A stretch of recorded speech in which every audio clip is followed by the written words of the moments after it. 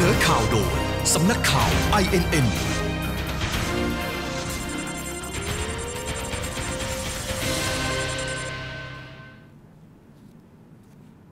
11นาฬิกามาติดตามข่าวกับดิฉันปรางคณิตบุญเผยจากสำนักข่าว INN ค่ะ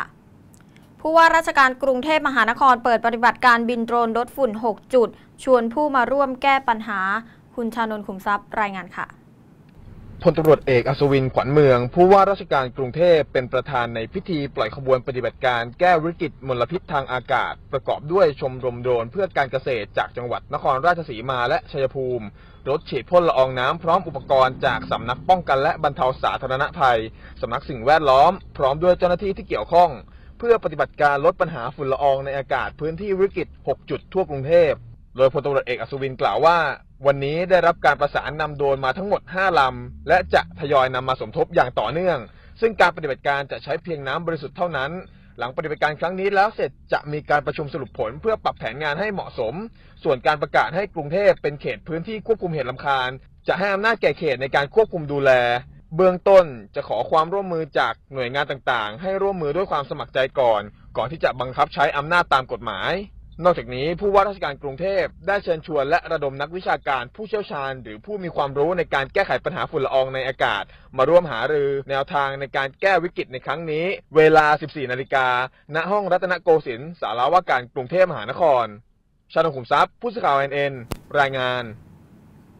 วิษณุนัดกกตถกข้อปฏิบัติช่วงเลือกตั้งบ่ายนี้ หากนายกรัฐมนตรีตอบรับแคนดิเดตพักพลังประชารัฐ ห้ามหาเสียงทั้งในและนอกเวลาราชการ คุณอาราดาชื่นรุ่งรายงานค่ะนายวิษณุเครืองามรองนายกรัฐมนตรีฝ่ายกฎหมาย เปิดเผยว่าในช่วงบ่ายวันนี้ 31 มกราคม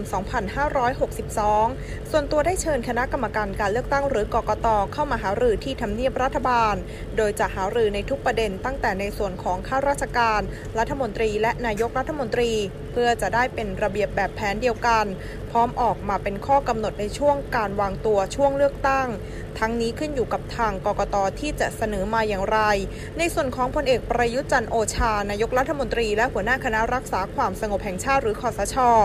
หากให้ชื่อพักพลังประชารัฐ ไปใส่ในบัญชีรายชื่อเพื่อเสนอเป็นนายกรัฐมนตรีพลเอกประยุทธ์ก็ไม่สามารถที่จะหาเสียงได้ทั้งในและนอกเวลาราชการอลดาชลุงผู้สื่อข่าว INN รายงานจากทำเนียบรัฐบาลค่ะ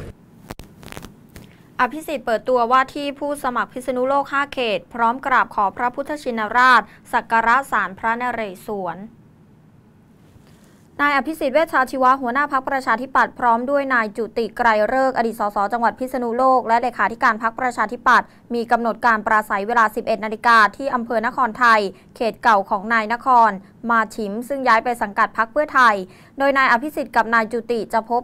ประชาชนพร้อมเปิดตัวผู้สมัครใหม่ คือนายคณิศรมาดี อดีต นายกองค์การบริหารส่วนตำบลเขตใหญ่ที่สุดในอำเภอนี้ ตั้งเป้าเอาชนะปักในเขตนี้ให้ได้ ซึ่งตั้งแต่ช่วงเช้าคณะของนายอภิสิทธิ์ได้เข้ากราบสักการะพระพุทธชินราช มีประชาชนชาวจังหวัดพิษณุโลกที่อยู่บริเวณใก ได้ให้การต้อนรับ นอกจากนี้ยังได้มีการไปทำการเปิดตัวผู้สมัครทั้ง 5 เขต ที่ศาลสมเด็จพระนเรศวรก่อนด้วย บรรยากาศเต็มไปด้วยความคึกคัก ประชาชนจังหวัดพิษณุโลกตื่นเต้นกับนโยบายพรรคประชาธิปัตย์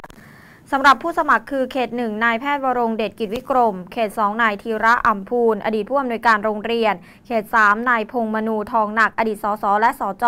เขต4มุทิตาทองคำนุชทีมกฎหมายทนายอาสา และเขต5คณิศรมาดี อดีตนายกรัฐมนตรีองค์การบริหารส่วนตำบล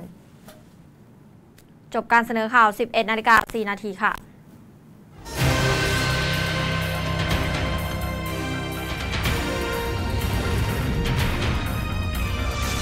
เสนอข่าวโดย สำนักข่าว INN